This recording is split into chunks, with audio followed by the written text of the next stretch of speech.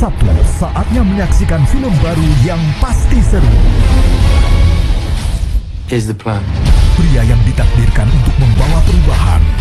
Berjuang melawan tirani dengan akal dan kekuatan. This is our crusade. Pertama kali di layar kaca Indonesia. A thousand pounds for the man who brings me on. Robin Hood, Sabtu 27 Februari jam 9 malam di bioskop Trans TV Premier.